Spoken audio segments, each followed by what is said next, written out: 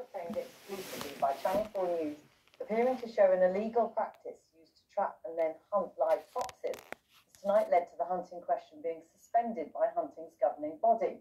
Both the police and the British Hounds Sports Association today confirmed they are now investigating the Cotswold hunt in response to the video contained in Alex Thomson's report, which contains scenes of animal cruelty. It's okay, darling.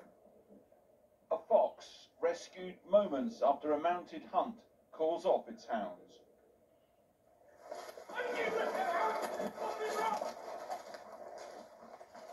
Channel 4 News has been given this exclusive footage filmed by a hunt saboteur who was monitoring the Cotswold hunt on Saturday, the 18th of March.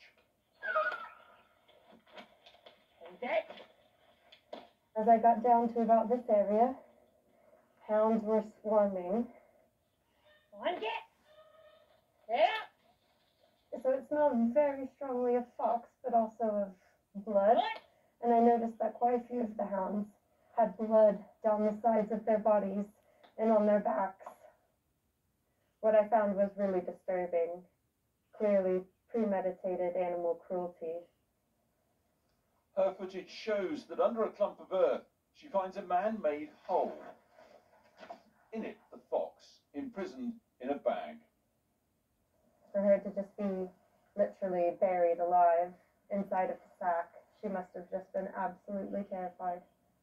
The sack um, was actually sodden with urine um, from stress or maybe for her being in there for multiple hours or even days. When the rescuers pulled her out of the bag, they determined that she was a female, a vixen, and that her um, nipples had appeared that she could be lactating. The distressed animal inspected at the scene by wildlife rescuer Martin Brooks. His animal hospital is already caring for orphan fox cubs round the clock. It's a dangerous time for any fox to be taken, whether it's illegally or whether it's legally. If they're being shot or hunted legally, it's it's not the right time of year to be doing it purely because it's, it's breeding season.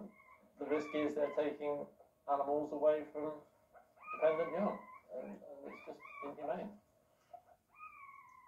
Hunting foxes with dogs was banned 18 years ago, but bagging foxes to be hunted was illegal long before that, although you can still follow a scent trail with hounds. I don't think it is an isolated incident. I think um, you only get evidence when you either get lucky because somebody is there to, to gather that evidence or the hunt gets blasé and cocky and um, they believe they're above the law. We've had um, 18 years of the um, Hunting Act.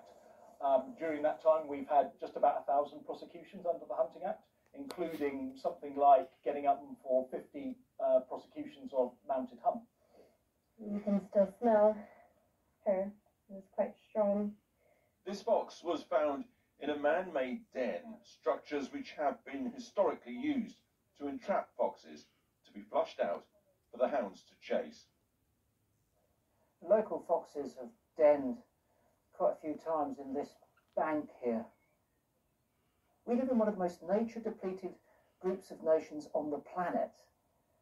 We're in the midst of a biodiversity crisis. We cannot waste wildlife simply for human gratification. It's abhorrent. Imagine if that was someone's pet dog that was tied in a bag in a hole in their garden. But somehow or other, because it's a fox, and we have this ghastly tradition of fox hunting in the UK, they are getting away with it. Meanwhile, back at the den, another saboteur continues to film, and her footage shows a group of men on quad bikes. What they say appears to show they're concerned about something being discovered.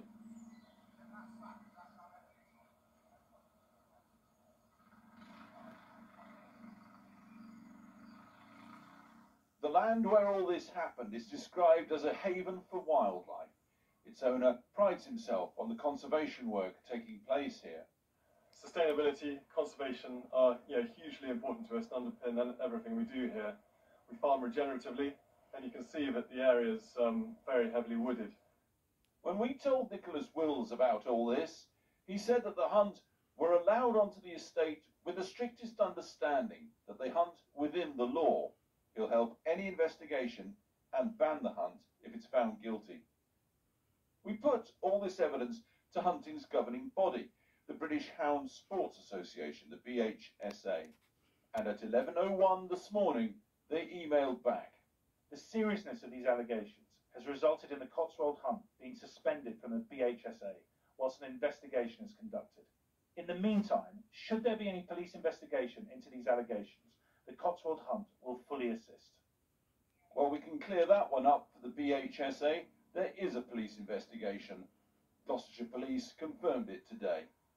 We also contacted the Cotswold Hunt itself, but they never responded. Hi, Magpie.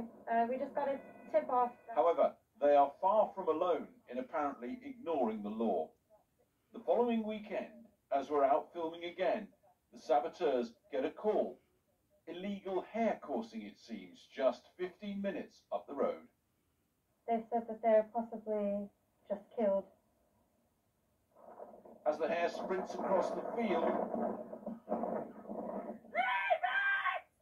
it appears to be the Royal Agricultural College beagles giving chase. Hunting hares with dogs has been a crime since 2005. This comes just a month after students there paraded a dead fox strapped to a car during a charity rally. In response to this week's incident, the Royal Agricultural University told us that it does not condone illegal activity in any form. The RAC Beagles are independent university. However, we would work in partnership with the police should there be any allegations of students involved in criminal activity. This has been yet another hunting season dominated by reports of suspected illegal activity across the UK. Including foxes seemingly dug out from their dens and flung to the hounds, and now this fox imprisoned in an artificial earth and saved just in time. For the fox to have an, a happy ending um, is really, really special. We just hope that she's out of harm's way and has made her way back to her cubs. That report from Alex Thomson.